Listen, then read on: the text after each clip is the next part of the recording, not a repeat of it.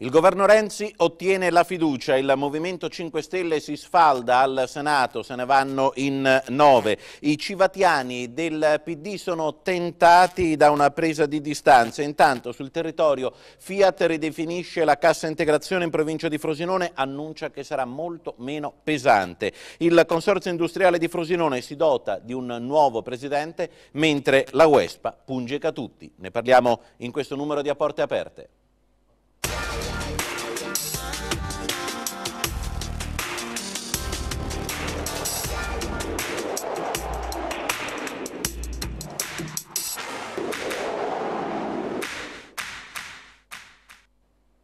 Diamo il benvenuto ai nostri ospiti. È imprenditore, gestisce una delle più antiche aziende provinciali nel settore del trasporto persone e allestimento veicoli industriali. Guida gli artigiani della provincia di Frosinone e da qualche giorno è stato chiamato alla presidenza del Consorzio di Sviluppo Industriale di Frosinone. Benvenuto al presidente Giovanni Proia. Grazie a voi. Giornalista, prima per il Tempo, ora per il Corriere dello Sport, direttore del mitico Corriere di Frosinone, il primo nel 1984 a pubblicare su un giornale un articolo di chi vi parla, è lui il responsabile. È l'autore del vocabolario del dialetto frusinate, del libro C'era una volta il pallone, del romanzo Iniziazioni. È l'anima del giornale satirico La Uespa. Benvenuto ad Amedeo Di Sora. Grazie Alessio. È consigliere regionale del Lazio, capogruppo UDC, sabato e domenica ha guidato la pattuglia Ciociara al congresso nazionale dell'Unione di Centro. I voti sono stati fondamentali per eleggere Lorenzo Cesa alla segreteria. Benvenuto all'onorevole Marino Fardelli. Buonasera, buonasera amici a casa. Esperto di macroeconomia, per anni pilastro dell'ufficio pianificazione della Banca Nazionale del Lavoro, consigliere economico del Ministro delle Finanze Vincenzo Visco, per non dover rinunciare alla carica di sindaco di San Donato Valcomino, ha rinunciato all'incarico di consigliere di gabinetto che gli era stato proposto dal Presidente del Consiglio Enrico Letta. Benvenuto al sindaco Antonello Antonellis. Buonasera. La linea sms per eh, i vostri commenti, le vostre domande, le vostre considerazioni 331 12 456 25, ripeto 331 12 456 25, nessun costo aggiuntivo a quello del normalissimo messaggio, quello che ci fa più piacere è che questa volta i messaggi sono cominciati ad arrivare addirittura prima dell'inizio della trasmissione. Via Twitter, l'hashtag come sempre è a porte aperte, cominciamo dalle notizie dell'ultimo momento, il movimento 5 Stelle si frantuma, se ne vanno in eh, nove unendosi con il senatore Marino Mastrangeli di Cassino potrebbero fare addirittura un gruppo autonomo in eh, Senato. Eh, Antonellis, la democrazia dal basso non funziona? Ma quella non è un esperimento di democrazia dal basso, lo diceva ieri bene il Presidente Renzi. Eh, una forza politica che si candida e chiede il consenso, riceve un consenso basso come nel Movimento 5 Stelle, ha poi l'obbligo di dare una risposta politica a quella richiesta che viene dai cittadini. Loro avevano la possibilità di incidere enormemente, ricordo l'anno scorso al momento in cui si aprirono le trattative per la formazione del governo Bersani, ci fu tutta quella, quella sceneggiata da parte di Grillo ripetuta adesso con Renzi. Credo che quella, quello non è un partito, lì c'è uno che decide per tutti, non è vero che uno vale uno, vale uno lì c'è uno vale per tutti. È l'inevitabile quello che è successo. Quali scenari ci saranno adesso per il governo Renzi? La situazione è più in discesa, saranno nove voti che andranno a sostenere il governo Renzi, secondo lei? Beh, è chiaro che eh, que questo suo movimento al Senato eh, porta a una facilitazione per il governo per quanto riguarda i numeri. Io immagino che questi senatori abbiano, eh, debbano fare una scelta di confrontarsi con le proposte, poi possano approvarle o meno, ma si aprirà un confronto serio. Eh, credo il governo Renzi in realtà il suo vero ostacolo è la ripresa economica, è lì che si gioca tutto. Lei di fatto non ha accettato eh, l'incarico che le era stato proposto dal Presidente del Consiglio Letta eh, perché avrebbe dovuto rinunciare all'incarico di Sindaco di San Donato, però di fatto ha eh, lavorato per eh, Enrico Letta, ha avuto un incarico anche di natura politica, lei ha eh, sondato una parte del Movimento 5 Stelle, che idea se ne è fatto?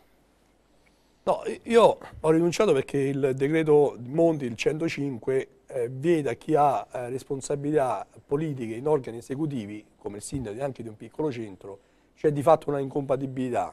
La legge parla chiaro per i comuni superiori a 15.000 abitanti, ma la Corte dei Conti lo estende anche ai comuni eh, inferiori. Mi pareva logico, mi pare logico dover portare a termine il mio mandato, anche se scade a, a maggio prossimo, sono dieci anni, però per rispetto degli elettori di San Donato che mi hanno votato i cittadini che mi hanno dato il loro consenso di portarli fino alla fine, quindi di anteporre le questioni, come dire, il rispetto di quel consenso piuttosto che di interessi personali. Eh, con Enrico, con il Presidente Letta, ho un rapporto personale da tantissimi anni, eh, mi onoro di questo, credo che sia stato eh, per me un ottimo Presidente del Consiglio, poi la storia valuterà, eh, adesso si gioca Oltre che amico personale questo... di Letta è esponente del PD, secondo lei nel metodo, per il modo in cui è arrivato a, Palazzo Chigi, ha sbagliato Renzi? O in politica ci sta tutto, anche il colpo sotto la cintura? In politica potrebbe starci tutto, anche il colpo sotto la cintura. Credo che forse potesse essere nell'interesse di Renzi e anche del Partito Democratico fare questo passaggio dopo una consultazione elettorale dove ci, dove eh, ci fosse stato un, un vero come dire, una vera legittimazione politica. Perché Agenzia si ha la DN Cronos, appena battuta, sono ottimista che si possa ricucire con i senatori del Movimento 5 Stelle che hanno annunciato la volontà di dimettersi. Il Movimento ha tutte le carte per recuperare lo slancio anche in un momento non felice come questo. Lo ha appena affermato alla DN Cronos il senatore Nicola Morra allontanandosi dall'assemblea in corso a Palazzo Madama. Marino Fardelli cita una frase detta in questa eh, trasmissione, la prima volta che c'è stato un esperimento di democrazia diretta, Cristo è finito in croce e Barabba invece è stato eh, liberato. Non funziona la democrazia diretta?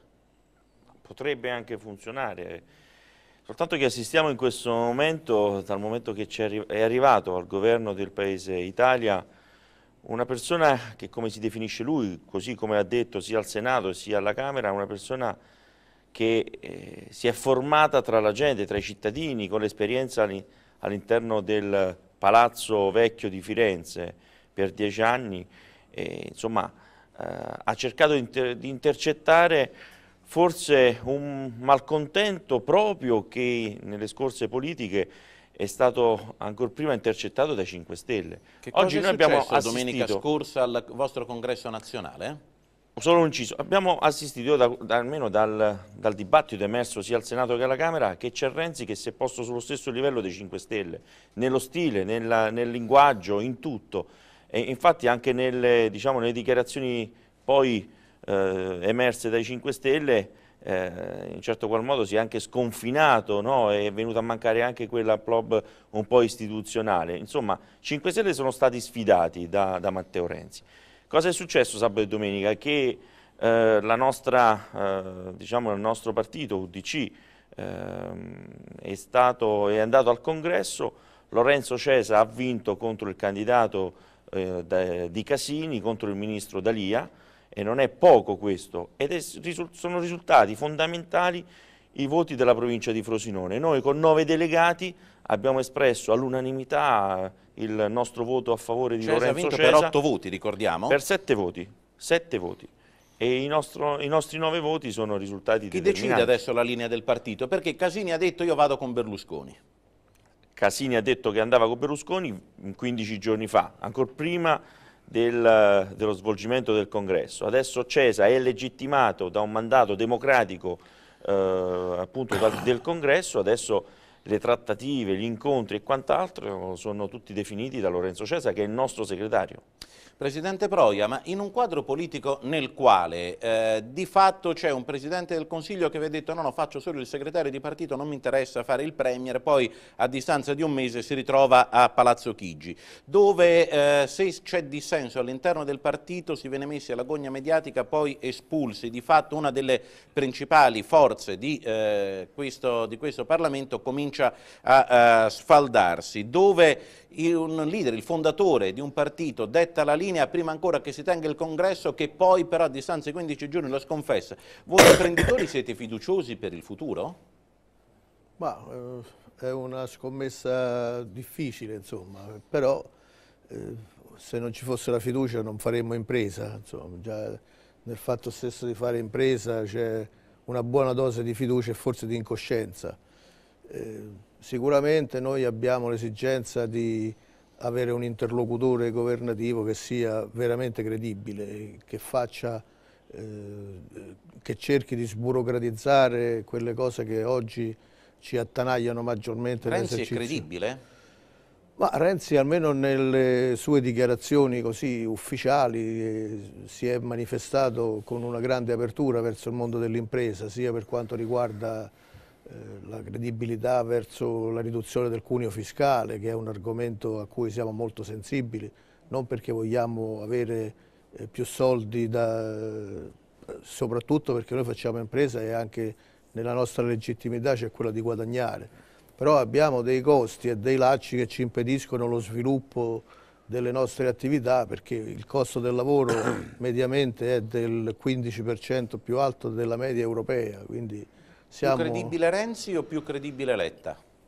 Ma, eh, io dicevo, dicevo, prima al nostro amico Antonellis che per noi non è importante se il gatto è bianco o è rosso, l'importante è che mangi il topo, cioè l'importante è che alla fine faccia quelle cose che sono necessarie per le attività che noi svolgiamo, per l'impresa e per far aumentare i consumi, perché noi rischiamo adesso che oltre a, alla depressione, alla crisi nella quale siamo piombati, eh, venga l'inflazione, questa una, una stagflazione che, che alla fine genera una situazione di mancata ripresa e nella quale difficilmente potremmo inserirci come impresa e come sistema paese in generale. Insomma.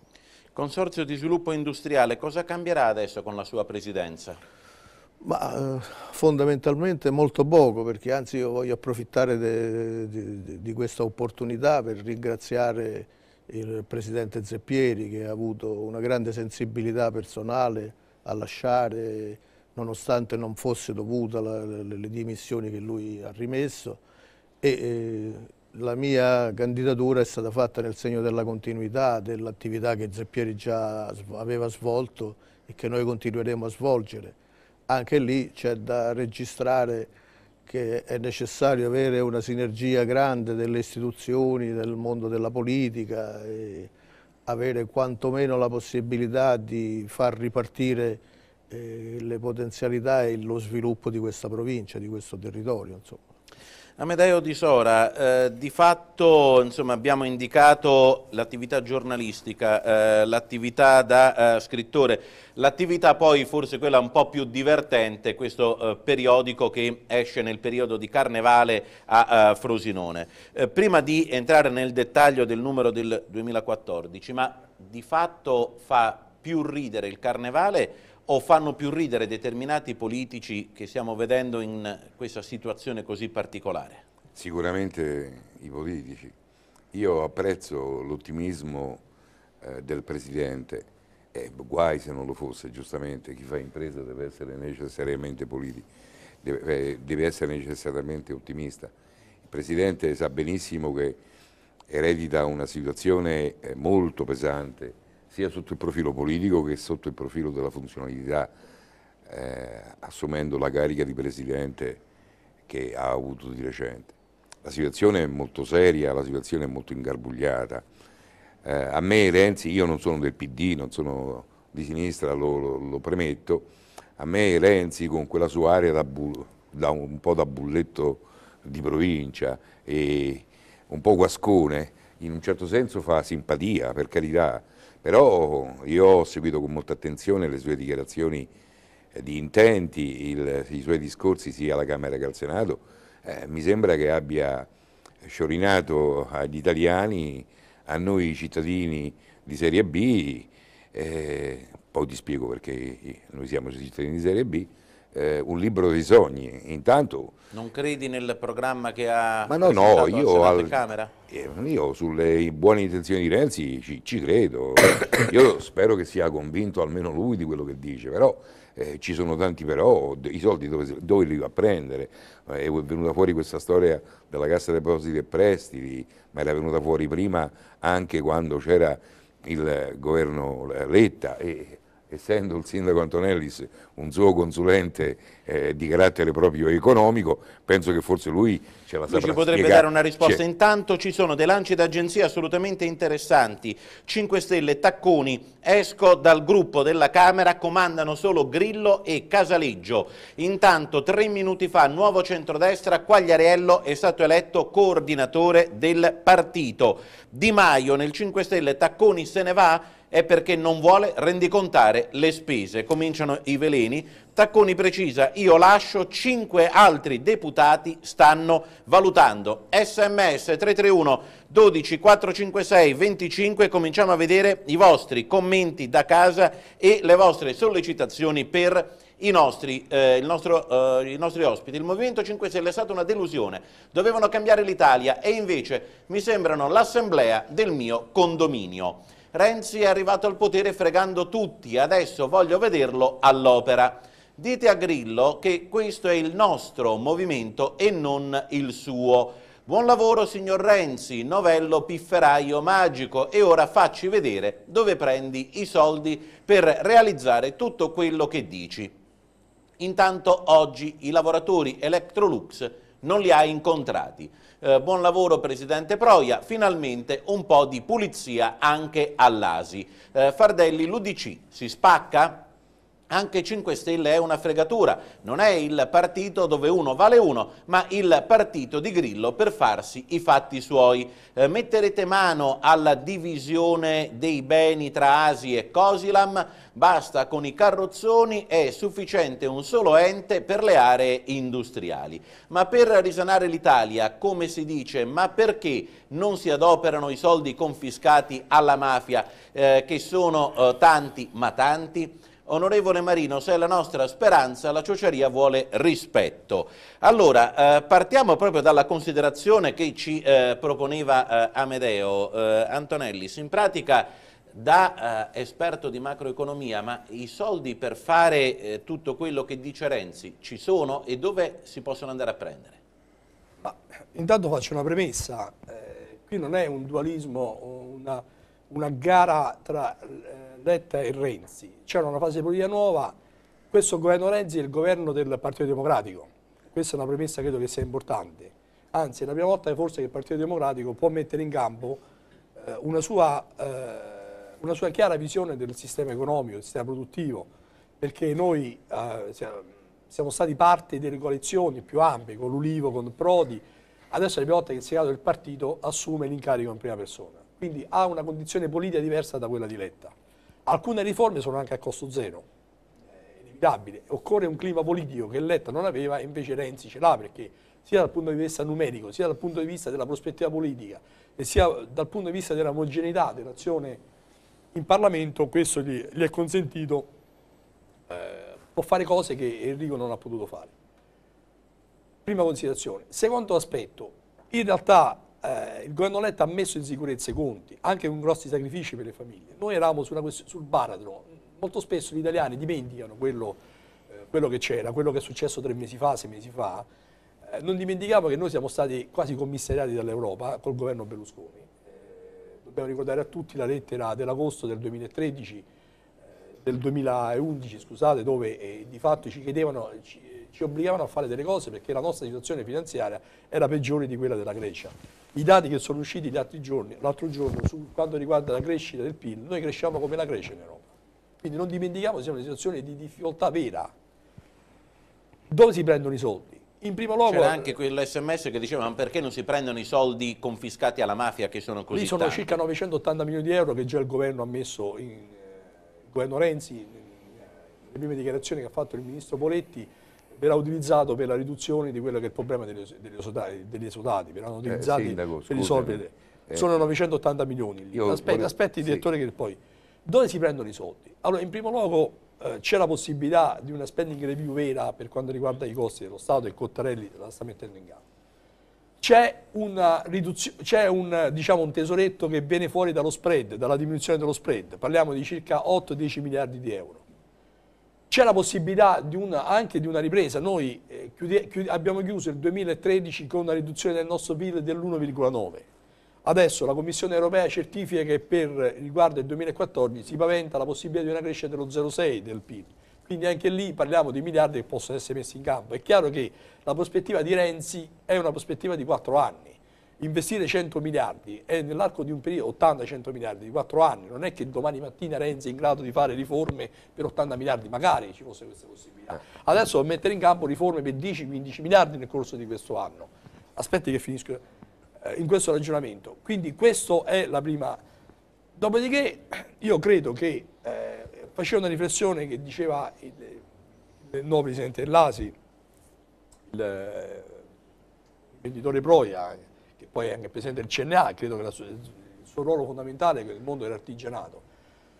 Le nostre imprese devono essere messe in condizione di poter lavorare. Questo sicuramente è un problema legato a, alla dinamiche eh, del, del mercato del lavoro internazionale. Però non dimentichiamo che noi eh, c'è questo tentativo di, di buttarla, dico così, alla caciara contro la classe politica. Guardate che oltre la politica poi c'è l'uomo solo, c'è il dittatore, noi queste esperienze le abbiamo vissute. La classe politica italiana non è inferiore a quelle di altri paesi perché la Germania... Sentiamo però, eh, c'era una perplessità che aveva Amedeo? No, perché evidentemente mi sono espresso male io. Bassanini ha detto che ci sono 60 miliardi da mettere in gioco. Ora Renzi questi 60 miliardi li vuole utilizzare e li vuole utilizzare subito, proprio per favorire le aziende rappresentate dal Presidente Proia, perché se questa gente lavora con le pubbliche amministrazioni, però non viene pagata e deve fallire perché è lo Stato che non salda le fatture e non gli dà i soldi che sono legittimamente dovuti, è chiaro che eh, noi non avremo mai quel tipo di ripresa. La mia domanda era, Bassanini però ha detto anche che questi soldi erano a disposizione della Cassa dei Prestiti e Prestiti, non di, di Bassanini, erano a disposizione anche di Letta. Voi avete in, in, in sede intervenuti, voi, il governo Letta, Guardi. è intervenuto pagando una parte dei debiti pregressi, però poi ad un certo punto vi siete bloccati. Perché? Guardi, ecco la domanda io per guardi, questo allora, tentavo di interromperla. Perché molto spesso si dà eh. una cattiva informazione. Non è, poi, eh, scusi Sindaco, eh, non, non, non è, eh, io non voglio demonizzare la classe, la classe, politica italiana per carità, perché c'è anche di peggio in giro, però mi consenta pure di dire una cosa, c'è anche molto di meglio, eh. insomma non, eh, non facciamo, non, non vendiamo al mercato le aureole, perché insomma almeno fino a quel che è successo fino ad oggi, almeno negli ultimi vent'anni, non ve le meritate. Guardi, eh? io le do subito due risposte. Sì. La prima, credo da sindaco, qui dentro sono il più grande esperto, le, da sindaco, da, dal sindaco sì. di un piccolo paese, di come succede il rimborso dei soldi, perché non è soltanto lo Stato ai debiti. In realtà la, la, la parte terminale sono i comuni che devono pagare. Certo. Allora il comune accende un mutuo, quindi lo Stato non è che gli dà i soldi all'imprenditore Proia, lo Stato obbliga i comuni a fare un mutuo con la Cassa Depositi e Prestiti, dove il comune paga l'interesse per pagare il debito che il comune ha con l'imprenditore Proia, che rideriva dal fatto che la regione le ha dato un finanziamento e non gli dà i soldi. Deriva dal fatto che lo Stato ha, soldi, ha, promesso i soldi alla regione per fare quel finanziamento e non gli ha dato i soldi, quindi l'ultima ruota del carro sono i comuni che sono obbligati a fare un mutuo e pagare gli interessi su quella somma per un debito che l'origine ce l'ha lo Stato. Quindi questo è il meccanismo. Primo. Cioè, quindi, quindi i soldi non li tira fuori nessuno, no, in pratica? No, i soldi, il comune deve indebitarsi, il mio comune va in anticipo di cassa perché pago gli imprenditori e quindi vado in genere anticipo di cassa. Dopodiché lo Stato mi obbliga di fatto a fare il mutuo per coprire i debiti che vanno sulla piattaforma del Ministero. Cioè, quindi a voi non ve li manda nessuno i soldi? No, noi dobbiamo fare un mutuo con la Cassa dei Depositi e Prestiti, questa è la facilitazione fai un mutuo alla Cassa dei Depositi e Prestiti che va oltre la leva eh, di bilancio possibile per i mutui, quindi vanno fuori dalla leva, fai un mutuo che tu paghi regolarmente i tassi di interesse alla Cassa dei Depositi e Prestiti e paghi gli imprenditori. Ma adesso questo, sembra, che, questo, sembra, che, il sistema... E su questo l'abbiamo utilizzato... No, no, se, poi dopodiché l'utilizzo, io, eh, cioè, eh, anche su questa roba qui, i 60, gli 80, i 100 miliardi, che, che è la cifra che adesso ancora non, non, si riesce a capire quanto è il debito reale, perché su quella roba lì è un magma indefinibile. I 100 miliardi non sono immediatamente utilizzabili perché c'è un problema del rapporto deficit-PIL dell'Europa, cioè quel debito che che viene lì, della Cassa Depositi e Prestiti. Non è che può andare Renzi e li prende. In primo luogo c'è questo meccanismo del, del, mutuo. Dopodiché la Cassa Depositi e Prestiti non li può mettere nel circuito degli, degli enti eh, pubblici, dei comuni, quindi pagare i nostri 100 miliardi, perché altrimenti noi superiamo il 3% del debito, del, de del rapporto deficit-PIL. Cioè i 100 miliardi sono a disposizione, però non si possono utilizzare perché c'è il patto di stabilità. Allora, se noi riusciamo a superare il rapporto del deficit PIL con l'Europa del 3%, si possono utilizzare i 100 miliardi, altrimenti bisogna centellinarli. Noi l'anno scorso, il governo Letta, per stare dentro al rispetto del patto, del, vi ricordate quella vicenda di Saccomanni, 3,01, 3%, l'1%, parliamo di 7-8 miliardi, era la possibilità o meno di utilizzare quei fondi, perché quei fondi hanno fatto sforare dello 0,5, perché il nostro deficit PIL reale era dello 2,5, pagando 30 miliardi di rimborso, eh, di rimborso alle imprese, il nostro era andato al 3%. Quindi c'è il problema di, di stare all'interno dei patti. Non è che uno la mattina va, ci sono degli obblighi comunitari. Ho capito, allora, allora, Bassanini ci ha venduto una palla che non no, finisce ma mai. Vi dico Bassanini parla di 15 giorni. Guardate, eh. quello che sta succedendo, eh. certo, il problema è vero. Eh, Bassanini... Bassanini... ha detto, qui si stanno 60 miliardi, in 15 giorni li mettiamo no, nel la circuito. cassa certo li può mettere. In, eh, li, Però, mettiamo, ci li sono... diamo alle banche, loro con i crediti privilegiati e garantiti dallo Stato vanno alle banche e incassano e poi si farà allora, nuovamente un mu- Scusatemi un secondo, provo a fare la sintesi perché stiamo eh, utilizzando dei termini che eh, a casa non utilizzano abitualmente. Allora, eh, partiamo da eh, rapporto deficit-PIL che eh, diceva il sindaco Antonelli. In pratica, eh, per poter stare in Europa ed evitare che i conti facciano acqua da tutte le parti, quindi che i paesi di tutta l'Europa, i singoli paesi che compongono l'Unione Europea abbiano dei conti sani, è stato stabilito un principio, cioè ci deve essere un rapporto ben preciso tra quanti soldi entrano e quanti soldi no. escono dagli enti pubblici, quelli che si possono impiegare. No, diciamo il rapporto deficit-PIL va a calcolare il rapporto che c'è tra, tra la ricchezza totale dello Stato e la spesa corrente. Questo rapporto non deve superare il 3% anno, questa è la soglia messa. È possibile superarlo nel momento in cui ci sono delle situazioni contingenti che devono essere autorizzate dalla Commissione europea, altrimenti tutti i paesi devono stare sotto il 3%. Benissimo. Questa quindi, è la condizione fondamentale. Quindi soldi... Altrimenti si viene, come dire, attenzionati, adesso c'è questo termine, cioè la Commissione europea apre una procedura di infrazione contro, contro, il governo, lo Stato che supera questo rapporto e li scattano nelle multe comunitarie, la riduzione dei finanziamenti comunitari per quanto riguarda ad esempio i fondi comunitari per, le, per gli investimenti. Quindi c'è una serie di penalizzazioni se non si raggiunge Benissimo, quindi i soldi che ha annunciato Renzi per pagare i debiti della pubblica amministrazione, da dove vengono? Ci dice il sindaco Antonellis, vengono semplicemente dal fatto che noi comuni, cioè quelli che dobbiamo Comune pagare, regione veniamo, e la regione, gli enti pubblici, sono autorizzati a fare un mutuo con la Cassa Depositi e Prestiti, che funzionerà Garantito quindi come Stato. se fosse una banca. In pratica, fa notare eh, Amedeo Di Sora, beh, allora di fatto questi soldi non esistono. Eh, ci ha detto chi governa la Cassa Depositi e Prestiti, ecco qua, ci sono 60 No, miliardi, è vero che ci sono, ma ci sono a condizione che il comune possa indebitarsi e possa pagare quell'interesse, dico No, bene? Allora, i soldi ci sono, i comuni hanno in qualche modo anche l'obbligo, perché altrimenti il creditore potrebbe fargli eh, il pignoramento, quindi hanno di fatto l'obbligo di fare il mutuo a carico dei cittadini. L'altro passaggio, l'utilizzo totale di quella somma, di pagare 100 miliardi, per non superare il 3%, occorre che eh, lo Stato italiano riesca a chiedere alla, alla, Commissione europea una deroga per il superamento del 3%, perché se vanno nel calcolo del 3% del rapporto deficit-PIL, noi paghiamo i debiti, però poi, come dire, creiamo un altro danno perché andiamo sotto una procedura di infrazione e vengono tagliati i fondi di trasferimento alle imprese per quanto riguarda gli investimenti. Quindi il passaggio è completo, nel senso ci sono i soldi, i comuni hanno di qualche modo l'obbligo, però per utilizzare tutta ma i quella soldi somma... Ma i so- arriveranno o no? Le I soldi- Sì, guarda, allora, l'anno, soldi? scorso, l'anno scorso sono stati pagati 30 miliardi di 27. euro, 27 miliardi di euro, adesso Sì. arriveranno altri 2-3 miliardi. Sì. Io credo che, viste le procedure, da esperienza da sindaco, ripeto, è un modesto comune, ma le procedure sono uguali, io credo che entro quest'anno un altri 30-40 miliardi è possibile pagarli, quindi a fine 2015, questa è la grande sfida di Renzi, lo Stato è in grado di annullare i debiti con la I suoi debiti. Io Eh, credo che al Senato, al Senato lui abbia detto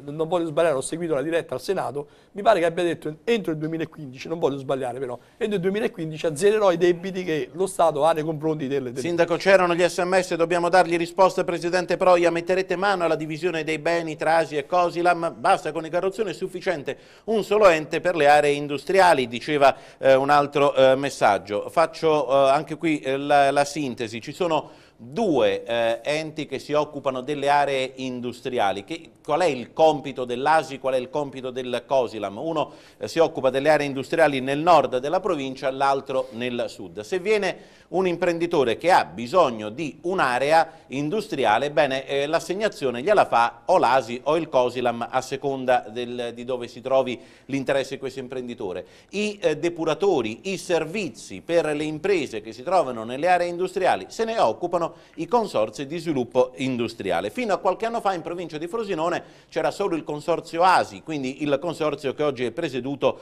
da eh, Giovanni Proia. Da qualche anno eh, c'è stata la divisione per una volontà regionale, in base a una legge regionale, nel sud eh, c'è il eh, Cosilam. Eh, c'è il problema dei beni eh, tra l'uno e l'altro ente, perché il COSI l'ha nato ma l'ASI non gli ha trasferito i, i beni. Eh, di fatto chiede questo messaggio, metterete mano alla divisione dei beni tra ASI e COSILAM o non ci sarà nessuna divisione? Ma non è esatto quello che diceva direttore, praticamente l'ASI non doveva trasferire nessun bene e eh, questa cosa qualcuno ha ironizzato anche sul discorso di investitura che io ho fatto in questo senso dicendo che era il cavallo di Proia, ha scherzato dicendo che praticamente noi abbiamo chiaramente detto che vogliamo favorire lo sviluppo del territorio in tutte le sue forme, cioè non, non c'è interesse se ci sia un consorzio al nord o al sud della provincia e nemmeno vogliamo metterci in competizione perché se no l'onorevole Fardelli lo sa meglio di tutti,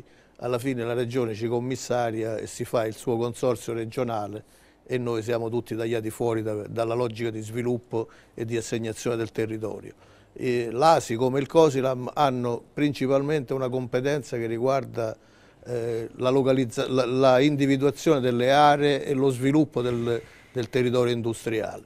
È chiaro che questa cosa non può essere depauperata in questi termini perché togliere una grande infrastruttura e attribuirla solo per criteri territoriali andando a sconvolgere il bilancio di un ente a discapito di un altro significa chiaramente scioglierlo o non dargli le risorse per poter sopravvivere. Quindi io sono prontissimo ad affrontare tutte le discussioni in questo senso, in sede regionale, in sede, nelle sedi opportune dove si dovranno affrontare, però non possiamo spogliare Gesù per vestire Maria, come si dice normalmente. Anche perché, anche perché ci sono problemi molto più certo, seri certo, certo. di questo trasferimento. Cioè, provo a fare un, un esempio, cioè sì. se c'è un depuratore che è stato costruito nella Cassinate a servizio delle imprese, venne costruito dall'ASI, lei dice noi solo perché si trova nel Cassinate non è detto che lo dobbiamo trasferire al Cosila, ma visto che l'abbiamo costruito con certo, soldi che erano dell'ASI. C'è un bilancio, c'è un patrimonio.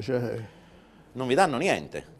Ma qui non è che si tratta di parlare di cittadini di Frosinone o di Cassino, ah, certo. assolutamente direttore, non riduciamo adesso diciamo, una serata in cui possono uscire anche delle, eh, dei suggerimenti da chi vive il territorio ancora, me ancora meglio di noi. Io dico questo Antonello, Antonello bene al sindaco Antonelli, bene che si parli di grandi numeri, il, cosa farà Renzi, cosa farà adesso il nuovo ministro eh, però riportiamo anche la discussione su quello che è, eh, quelle che sono le difficoltà che viviamo in provincia di Frosinone. Il governo vive una difficoltà, come Regione Lazio ne viviamo un'altra. Noi non riusciamo a, bandire opportunità per i comuni, per far ripartire anche una, diciamo, un, degli investimenti, e questo perché ovviamente viviamo delle difficoltà che sono legate a un grande tema che da qui a tanti anni, anni addietro ci ha coinvolto, che è quello legato al debito della sanità. Abbiamo, fatto, abbiamo avuto uno sblocco col decreto 35 circa 5 miliardi di, di euro che lo Stato ci ha trasferito alla Regione per poter pagare le amministrazioni, le aziende, le industrie, e pagare eh, diciamo, le, anche le, le ditte, le società che hanno lavorato all'interno del, del, territorio uh, regionale. Ma oggi c'è un problema vero, non riusciamo Quale? a mettere a bando un investimento. Questo perché stiamo ancora cercando all'interno della Regione Lazio di capire su che cifre ci dobbiamo muovere. E ovviamente i comuni vanno in sofferenza perché tanti comuni ci sono della provincia di Frosinone che non riescono a far partire un lavoro pubblico perché addirittura hanno eh, tra virgolette, il rischio di, veder, di, vedersi anticipare dei soldi per poi non ritornare in tempo utile, addirittura pagando anche delle, degli interessi su quel lavoro già avviato. Allora, Quindi scusatemi un, un secondo, c'è eh, già una marea di messaggi su quello che avete appena detto e ci sono ulteriori sollecitazioni. Selezioniamone una parte. Sul Cosilam siamo... però, Cosilam Asi, Cosilam, è soltanto Asi, un inciso. Yeah. Qui non è un problema Cosilam o Asi tra Frosinone e Cassino, una guerra come qualcuno cerca di far passare Assolutamente, io penso che le due, eh, le due, governance che oggi eh, appunto i management delle due società che gestiscono eh, il territorio nord e il territorio sud debbano in un certo qual modo incontrarsi e definire anche delle politiche industriali che ovviamente sono diverse eh, perché riguardano un territorio diverso dall'altro, però diciamo anche la verità, oggi si cerca di far passare i due enti come dei carrozzoni, io non la vedo così, anche perché non è che vivono di soldi regionali, assolutamente, tantomeno bisogna far passare l'idea che uno solo risolve tutti i problemi, anche perché in provincia di Latina esistono lo stesso due, due consorsi industriali, uno sul Latina e uno sul sud Bene. della provincia, quindi non è che c'è guerra tra di loro, ma è, è tant'altro deve esserci una guerra tra Frosinone e Cassino, io non la vedo così, assolutamente. Non vediamo gli sms, 331 12 456 25, poi eh, vediamo eh, quanti minuti abbiamo prima della pubblicità. Allora, eh, selezioniamo in una parte dei eh, messaggi. Allora, cari politici, eh, dovete capire che eh, dietro le quinte di Renzi c'è ancora D'Alema e Prodi, ci hanno messi per terra. La sanità è una cosa seria, l'ospedale di Sora è un marasmo, onorevole onorevole Fardelli, aiutaci. Che cosa ne pensano le persone in studio della crisi dei gestori di benzina strangolati da compagnie e concorrenza delle pompe bianche? Proia ritiene giusto che i soldi che vi danno le aziende del Cassinate voi li investite nel nord della provincia? Se tanti criticano Renzi, allora riesce a fare qualcosa. Onorevole Fardelli, siamo operai esterni al Cotral, il signor Zingaretti eh, ci prende in giro da circa sei mesi, noi siamo disperati con riduzione degli orari, gli stipendi sono dimezzati, cosa sta succedendo? Sindaco Antonellis, lei che è eh, sindaco di un comune socio del Cosilam, non pensa che eh, sia un danno economico e ingiusto che l'ASI gestisca beni nell'area del Cosilam investendone i guadagni in un altro territorio. Allora dovremmo avere eh, due minuti. Eh, Presidente Proia, su queste considerazioni che fanno, insomma, lei prende i soldi dalla Cassinata e li investe nel nord della Magari. provincia? Non è così, insomma, non, non, assolutamente non è così, perché non è che eh, le aziende contribuiscono, le aziende contribuiscono a pagare dei servizi che gli vengono prestati, quindi non è che eh, qualcuno dà soldi ad altri e ci sono eh, questioni di promiscuità di questo tipo. Poi non vengono investiti perché noi non siamo un ente economico che fa attività propria, noi viviamo soltanto di quelle che sono le, provvidenze che vengono da, dalla regione o dai vari enti che contribuiscono a creare infrastrutture e servizi per il territorio. Non sono,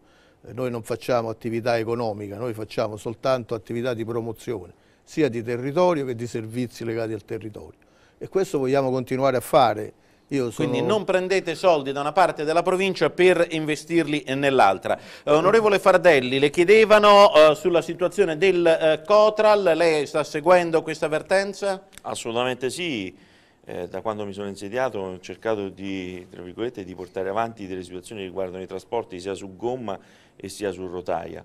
Stiamo cercando appunto di definire un, un nuovo assetto di quello che è il trasporto su gomma all'interno della Regione Lazio e l'idea che almeno sulle linee guida, e su questo chiedo il conforto anche di Proia visto che è del settore del trasporto pubblico locale, l'idea è quella di definire un'unica società tra Cotral, Cotral Patrimonio e tra Astral. Questa è l'idea di fondo che si cerca di portare avanti. Quindi per Eh, questi lavoratori che dicono Zingaretti ci sta prendendo in giro, domani ci sono mattina, delle prospettive? Domani mattina, ecco, subito mi attiverò per, eh, affinché ecco, si possa dare una risposta sul territorio, anche perché non è possibile assolutamente che quello che stiamo vivendo in questi giorni, in queste settimane, a parte che vanno a fuoco diversi mezzi del Cotral, è un grande punto interrogativo quello che sta succedendo nella nostra provincia, guarda caso, e poi eh, alcune corse sono o soppresse o c'è un fuoriservizio o non passa il pullman Cotral, ovviamente con tante eh, difficoltà da parte degli utenti, degli studenti, dei, via- dei viaggiatori e quant'altro. Anche perché, anche perché eh, Cotral dovrebbe ben capire che bisogna fare una sinergia con le società di trasporto pubblico locale, perché io non posso, eh, tra virgolette, essere portato, io lo dico affinché ecco, eh, le società comunali trasporto pubblico locale con Cotral e anche con Ferrovie si parlino, perché oggi è stata sempre ridisegnata una mappa eh, provinciale di Cotral senza tenere in considerazione quello che succede nei comuni e nei territori. Io prendo un mezzo, arrivo in un determinato comune e poi non mi vedo passare la circolare eh, all'interno del comune stesso. Evidentemente qualcosa non funziona. Allora ecco, da domani eh, cercherò ancora con più eh, sollecitazione di eh, capire cosa eh, Cotral intende fare all'interno del nostro panorama provinciale. Poi c'era un altro sms che riguarda la sanità. Diamo un attimo di tempo al nuovo direttore generale che appena si è insediata, ha fatto una conferenza stampa l'altro giorno con i, giornali, i giornalisti del- della provincia di Frosinone, ha tracciato quelle che sono le linee guida, di certo però una cosa, quello che si è verificato, quello che si verifica in tutti gli ospedali della provincia di Frosinone, almeno quelli grandi che sono Frosinone, Sora, Cassino, poi c'è anche quello di Anagni e quello di Alatri, ovviamente questa cosa deve finire, cioè noi non possiamo essere etichettati come cittadini di serie B e con una sa- sanità di serie B. Ci è stato detto per tanti anni che dovevamo patire delle- dei tagli, dovevamo subire a dispetto di Roma, perché qui si tenta sempre di fare una politica romanocentrica, eh, e però adesso insomma invertiamo un po' la rotta. Abbiamo dei poli di eccellenza, abbiamo dei medici che sono de- veramente delle eccellenze nel nostro panorama eh, provinciale, abbiamo questi poli ospedalieri, facciamoli funzionare. Basta vedere quei pronto soccorsi con quelle scene indegne, nemmeno da terzo mondo, mi dispiace per il terzo mondo, che abbiamo, siamo stati abituati a vedere nell'ultimo periodo. Oggi in AS sono stati al pronto soccorso Appunto. di Latina, dicono che però non hanno trovato irregolarità, tranne il fatto che mancano eh, dei eh, medici. Eh, la pubblicità, il tempo di qualche spot, un minuto e mezzo, non vi muovete, torniamo insieme e ripartiamo dal giallo e dal nero, il colore della Vespa o alla Frusinate della Vespa, non vi muovete.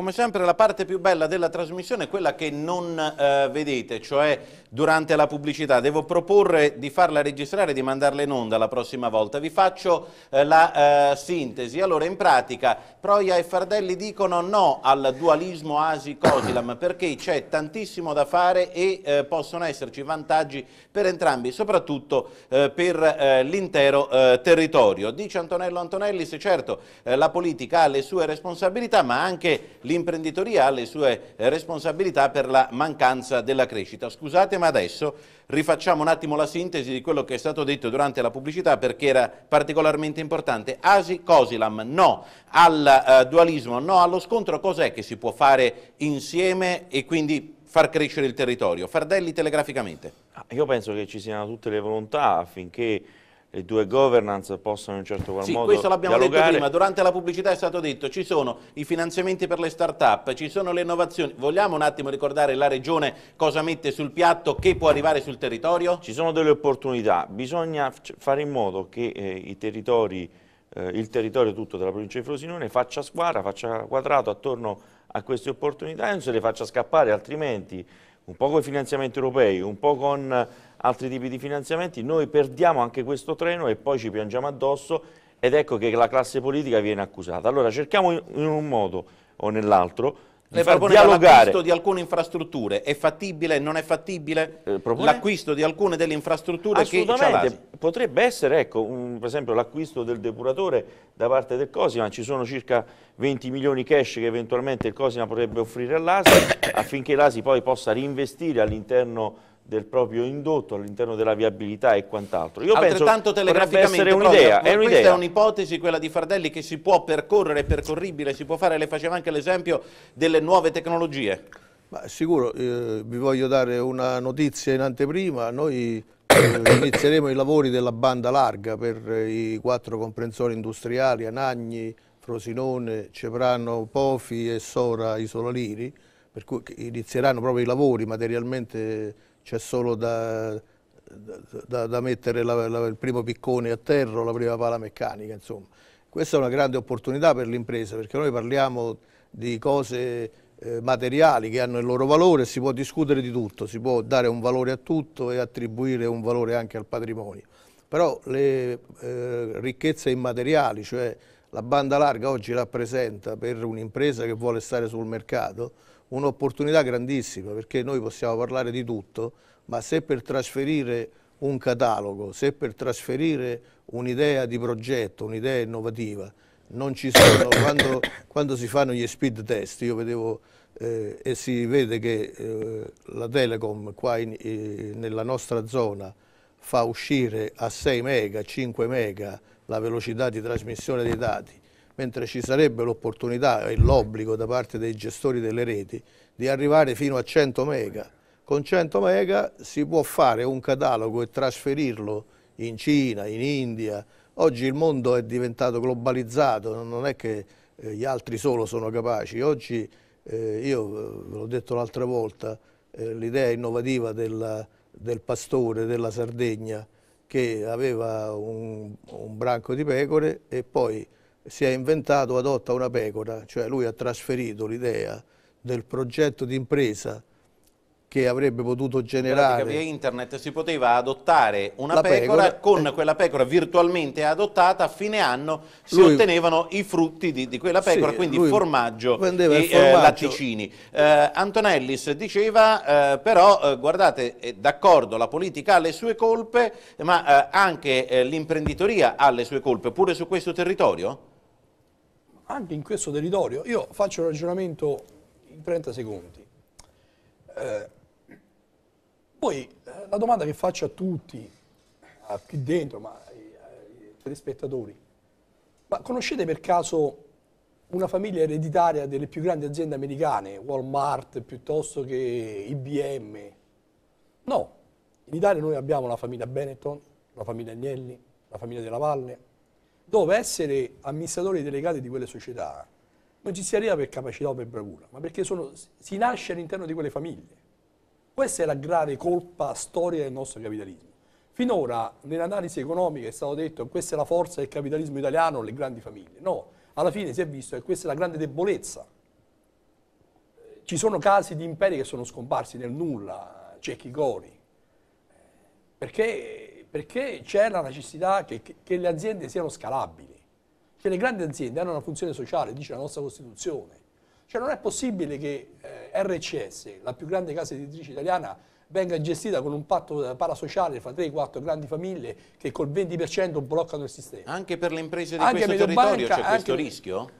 L'impresa sul territorio, io dico che c'è la grande forza delle nostre imprese sul nostro territorio di fare impresa, perché noi viviamo in, un territorio che è molto penalizzato rispetto ad altre realtà, perché siamo in un contesto eh, morfologico totalmente diverso. È più facile fare impresa a Treviso piuttosto che a Frosinone, per la vicinanza alla Germania, per la vicinanza a un mondo della cultura. Noi abbiamo avuto la fortuna e anche la sfortuna di avere questo grande stabilimento della Fiat che è stato onnivoro di tutte le nostre capacità. Il nostro tes- tessuto produttivo ha pagato anche in questi termini. A noi è scomparsa l'agricoltura, che era una, era una grande ricchezza. Abbiamo creato questa categoria socio-economica del metalmezzato, che non era né eh, metalmeccanico come era nella Torino degli anni 60, dove hanno creato la Fiat, né l'agricoltura della, della bassa padana, che, che è tra i primi posti del mondo. Abbiamo creato questo ibrido.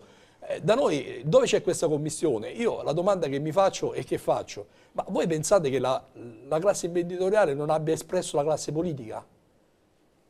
Qui in Italia, eh, negli ultimi, la storia degli ultimi 60 anni era questo. Amadeo, su questo territorio ha fatto più male la politica o l'industria? Cioè, No. scu- io faccio, faccio un'altra riflessione così, è anche provocatoria, ma vi risulta che qui eh, Andreotti qui da noi prendeva il 90% dei voti, adesso non c'è più nessuno che, che alza la mano e dice io ho votato Andreotti. Andreotti era l'espressione di quel sistema politico e imprenditoriale, forse il sistema imprenditoriale prima che politico della nostra provincia. Era un sistema da condannare, Amedeo? No, io non sono molto d'accordo con l'analisi del, del sindaco Antonellis, anche per quanto riguarda l'im- l'imprenditoria in generale, perché ci sono state anche grandi famiglie che sono uscite di scena, ma non per fallimenti, per, ma proprio per le cosiddette scalate che, cui faceva giustamente cenno lui. Per quanto riguarda poi le responsabilità, le responsabilità secondo me sono di chi ci guida.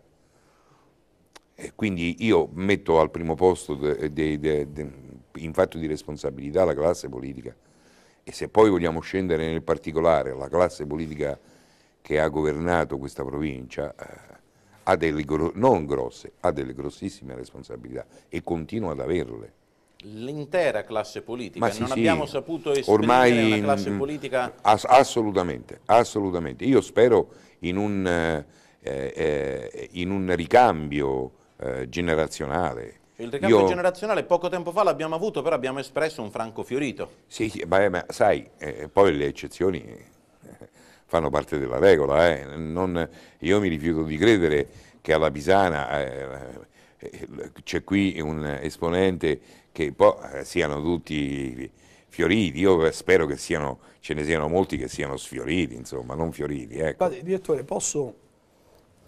Riflettevo su questa cosa eh, che diceva il eh, presidente Proia, ma noi in Sardegna, che è molto più difficile fare impresa perché è un'isola, eh, i manuali di economia sono chiari, è molto più difficile fare impresa in un'isola piuttosto che sul, sul territorio.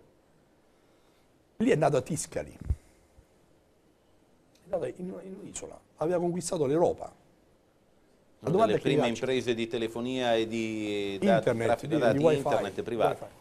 Perché non, nata- non c'è stata un'impresa imprenditoriale nella nostra provincia? La Tuzzi è nata al confine tra la Puglia e la Basilicata, in una zona dove non è l'Eldorado dell'economia, piuttosto ci sono altre resistenze. Perché quel- quella realtà è nata lì piuttosto che qui? Io forse dico che qui c'è una responsabilità fortissima della classe politica, sicuramente di tutta la classe politica, ma c'è un'altrettanta responsabilità della classe imprenditoriale perché non è stata capace di fare impresa, perché si è vissuto sul, sulla Non ha convivenza. avuto il coraggio. Ma anche perché ha vissuto bene sulla rendita della politica, perché la rendita degli, eh, de- del finanziamento, dell'appalto, dell'economia protetta, diciamo, non aperta a tutti, cassa del mezzogiorno, un'economia protetta, non concorrenziale, si è chiusa e non ha dato lo slancio, casomai, all'imprenditore che aveva l'idea innovativa eh, che qui non è nata. Noi siamo qui, guardate, noi abbiamo una grossa responsabilità su questo, perché noi siamo a 100 km da Roma e da Napoli. Cioè in queste due città metropoli vivono il 10% della popolazione. Però gli Altro imprenditori non hanno avuto coraggio? Ma non è- io dissento da questa impostazione perché eh, ognuno ha la sua parte di responsabilità e nessuno si deve sottrarre a questa parte di responsabilità, è indubbio. Però eh, io ho un mio concetto della democrazia, eh, della politica e della democrazia in senso imprenditoriale. Cioè, eh, penso che eh, prima di tutto eh, vengano gli uomini, vengano- se c'è una responsabilità che l'impresa non è cresciuta a sufficienza, non è solo una responsabilità degli imprenditori. Se c'è scarsa democrazia all'interno delle grandi imprese e se questo non è un, eh, un fenomeno scalabile, eh, nelle- la rivista Fortune in America eh, che, che fa l'elenco delle prime 100 imprese de- del, eh, che sono presenti nel mercato americano, le cambia ogni 25 giorni, ogni 30 giorni. Quindi questa mobilità del capitalismo noi non l'abbiamo avuta perché il nostro capitalismo, mi è piaciuta molto la, la definizione del metalmezzadro, cioè che il nostro capitalismo è stato un capitalismo fatto di grandi multinazionali che sono venuti qui, che non hanno creato un grande tessuto imprenditoriale. Noi pensiamo alla Glopman, pensiamo alla Fiat, pensiamo alla Videocon. Certo, è chiaro che poi, poi queste imprese, quando eh, non hanno creato quel tessuto di impresa a cui si sono... Io provengo da una famiglia eh, di imprenditori che sono la terza generazione di imprenditori, non mi vergogno di essere imprenditore anche avendo fatto grossi sacrifici perché li ha fatti la mia famiglia eh, all'inizio e li continuo a fare io. Il problema è che il tessuto imprenditoriale cresce se ci sono condizioni di favore per la crescita, certo.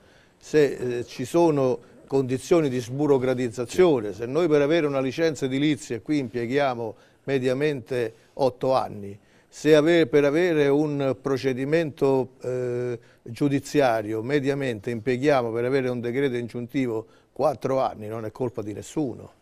Cioè, se noi abbiamo difficoltà... No, no, Presidente, come non è colpa certo, di nessuno? È colpa, è colpa della magistratura, non è, eh, non è colpa del sistema. No, no, non è colpa nostra, non è colpa eh, degli diceva imprenditori. un paio di eh. settimane fa a Cassino il ministro Dalia, eh, il nostro governo le eh, riforme le ha fatte per sburocratizzare, poi però per attuare quelle leggi serve un decreto di attuazione che devono scrivere i burocrati. Detto, eh, certo. Mi sembra un po' una follia, è come se invitassimo alla festa del 4 luglio in America il tacchino, cioè quello al quale bisogna tirare tirare il collo, facciamo la legge per sburocratizzare ma per attuarla ci mettiamo in mano certo, ai burocrati. Però il fatto stesso delle imprese che eh, eh, la gestione dei centri per l'impiego, io non voglio polemizzare per carità, però eh, l'approccio che c'è al mondo del lavoro e la difficoltà eh, di questo eh, articolo 18 che è un falso problema perché qui le imprese non crescono, eh, perché alla fine non c'è mobilità sia in entrata che in uscita nel lavoro. Queste cose sono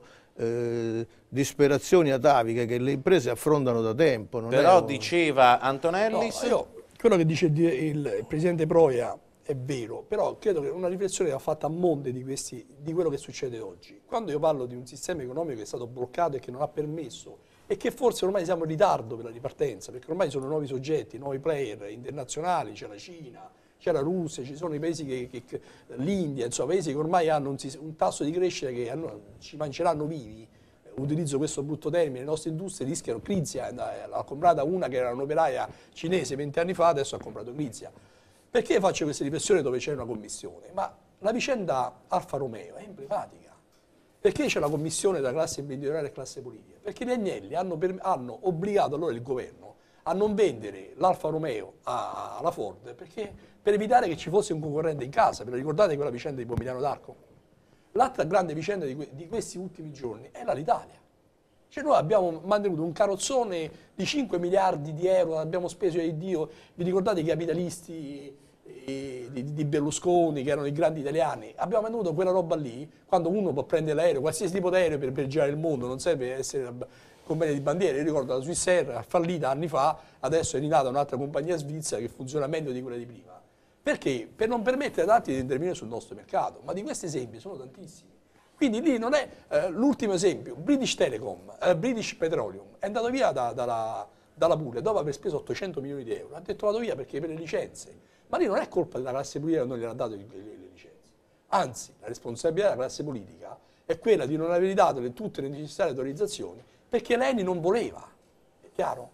Cioè non è che la classe politica ha un potere assoluto e gli altri, c'è una commissione di debolezze tra classe politica e classe imprenditoriale, dove le responsabilità sono al 50%. Che rendono anche debole tutto il sistema. Tutto il sistema. Amedeo Di Sora, giallo e nero, la UESPA, facciamo vedere ah. la copertina del numero di eh, quest'anno che è già il in emblematico. a uh, Frosinone, allora è tutta una frana. Eh, intanto chi non è sulla OESPA in genere si offende perché eh, è un periodico satirico dove eh, punge e molte volte fa male per le eh, battute davvero eh, al vetriolo, però esserci significa avere un ruolo nella società di questo territorio. Intanto come scegli chi può essere pungicato dalla UESPA? e soprattutto eh, come fai a scegliere poi i vari temi visto che questo territorio ne offre ogni giorno. Allora, per motivi pratici, chiaramente la Vespa si occupa soprattutto del capoluogo, Frosinone, ma non perché io non vorrei interessarmi anche di altri comuni, sarebbe impossibile. Abbiamo dei riferimenti di personaggi di un certo livello, anche di comuni vicini, ma maggiormente la Vespa Bisogna fare la storia di questi giornali. Subito dopo la guerra, nel 1946, eh, incominciarono a uscire questi giornali che erano eh, fatti, erano realizzati eh, da personaggi che non è che fossero molto acculturati. Eh, c'era un falegname, c'era il mio parente che faceva il ferroviere, eccetera, e quindi ovviamente scrivevano come sapevano scrivere in dialetto. Non, non dimentichiamo che la lingua italiana deriva mh, dal dialetto fiorentino che era più diffuso all'epoca, quindi il mezzo per, per, per, per, eh, comunicare era il dialetto, ancora oggi in alcune zone si parla in, si parla in dialetto e hanno incominciato a scrivere questi fogli che con la scusa di fare questa lettera al generale eh, Championnet era il modo per sollecitare le autorità locali ad, ad, affrontare determinati problemi. Nasce su questo filone. Infatti la Vespa che ha conservato la sua originale eh, testata dice ti pungica, vale a dire ti pungica, ti gonfia, perché pungendoti ti gonfia, non da cite, esce solo quando è aulanata, aulanata nel senso di quando è arrabbiata, quando è... E quindi la, la Vespa, infatti l'articolo di fondo è rivolto al sindaco. Eh, se invece di bruciare l'emblema del generale Championi alla fine del carnevale eh, venisse dato fuoco all'emblema di qualche politico locale, forse si sentirebbe un po' più chiamato in causa e un po' più stimolato? Ma, ma sei cattivo, adesso te, il sindaco ti risponde, eh, sei, sei, cattivo, nel senso che il carnevale è un'altra cosa. Questo è un giornale che ormai è diventato una, una tradizione, è il primo numero è uscito nel 1945 e questo giornale lo ha inventato un cugino, un parente lontano di mio padre che si chiama Giuseppe Alessio di Sora che è forse il più raffinato poeta eh, in vernacolo insieme ad altri che sono bravissimi, mi viene in mente adesso Paolo Colapietro eccetera. E, e poi quando io nel 1960 eh, finì nella redazione del Tempo, eh, questo signore, rivedendo che io fossi un grosso giornalista, era appena entrato alla redazione del Tempo, mi disse, pare, mi chiamava parente, eh, dice dammi una mano a fare il giornale. E io ho incominciato a collaborare con lui. Poi purtroppo lui è venuto a mancare perché era una persona anziana e il numero prima del, della sua morte mi disse la nostra redazione, la redazione della Vespa, era in corso della Repubblica su quella panchina che c'è davanti al cinema Excelsior. Io l'aspettavo lì perché lui veniva da Roma, viveva con una figlia a Roma, veniva da lì con la circolare, scendeva dalla stazione alla circolare e poi metteva fuori dalla giacca un pacco di appunti scritti anche su quella carta paglia che, che, eh, pane, e no? lui mi dava tutti questi appunti eccetera eccetera e io poi dovevo andare alla tipografia Zirizzotti, che già da allora la tipografia Zirizzotti stampava la Vespa, e dovevo sistemargli questo giornale che era fatto da quattro foglietti. Ma è capitato no, che no. qualcuno si sia offeso sul serio? Sì, sì, soprattutto i colleghi, eh, caro Alessio. Siamo, allora, i giornalisti è una categoria molto, eh, molto particolare. Allora, i giornalisti diciamolo molto francamente, rompono le scatole 365 giorni l'anno a tutti e non, si, non è che si fanno mancare nulla, però poi quando sono loro ad essere presi di mira sono un po' per malosetti, no, a, a, battuta a parte, in effetti ho avuto qualche problema, però ti posso garantire che io non ho avuto mai una querela, io non ho avuto mai un qualsiasi problema. C'è stato un periodo in cui la Vespa era il, il, eh, diciamo, il punto di riferimento di diverse mogli, le quali mi telefonavano per dirmi scusa ma tu hai fatto questa battuta su mio marito, potrebbe significare questo, ma sai qualche cosa? Quanti matrimoni hai salvato? No, no, assolutamente. Negando l'evidenza. Ma assolutamente, ma per carità, eh. e poi tu lo sai il segreto professionale, eh, oltre, oltre, alla serietà della persona che lo fa. Eh, oltre alla Vespa, io citavo nella presentazione, eh, sei l'autore del vocabolario del dialetto frusinate. Ecco, io di questo, di questo sono molto orgoglioso, di questo libro, e io se ho scritto questo libro eh, in un certo senso lo debbo a mia moglie che è qui, che ci sta seguendo qui nello studio. Eravamo in vacanza a Montesilvano e un giorno presi una rivista che comprò mia moglie, mi ricordo Anna, Annabella, e, e lessi un grosso reportage dove c'era scritto che ogni anno nel mondo scompaiono 200 eh, lingue, idiomi, soprattutto eh, piccoli idiomi, eccetera. Siccome io facevo la Vespa, ho detto, ma io ho una certa età, ma quando mi moro io, sta Vespa, chi la fa? Anche perché esisteva una sorta di vocabolario che, che, che ha fatto il Cavalier Peruzza, eh, però un vocabolario che, fo, che fosse completo, nel senso che c'era la grammatica, perché la fatica più grande è stata quella di fare la grammatica, di realizzare una grammatica del dialetto frusinate, perché va detto con chiarezza che il dialetto è una lingua compli molto complicata. Noi siamo 91 comuni, esistono 91 dialetti. Non solo, all'interno di ogni dialetto esiste il dialetto parlato e il dialetto scritto. Non solo, c'è quello che viene scritto e parlato in città e quello che viene scritto e parlato in campagna. E in campagna c'è il fatto che ehm, c'è una commistione con termini di comuni eh, limitrofi, per cui è una cosa veramente molto, molto, molto complicata. Quindi io ah, volevo fare un piccolo, perché molti mi chiedevano a Frosinone e Frosinati, ne sono rimasti pochi, eh, quindi mi avevano chiesto, oh, ma sta Vespa però a leggerla è difficile, è complicato, non si capisce, eccetera, perché non fa un vocabolario? E io volevo fare un vocabularietto proprio da allegare alla Vespa. Eh, Quante fare... pagine è uscito?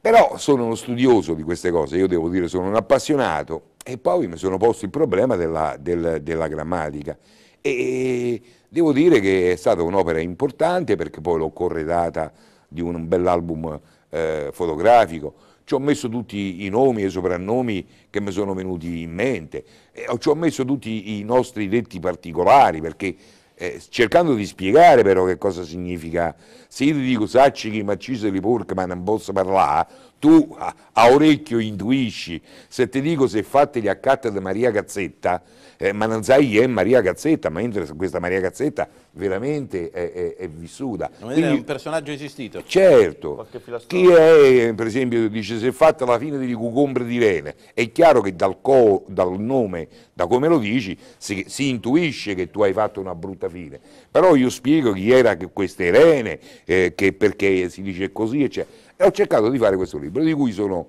veramente molto soddisfatto, anche se c'è un aspetto comico in questo libro, lo dico proprio perché c'è qui eh, l'onorevole Fardelli.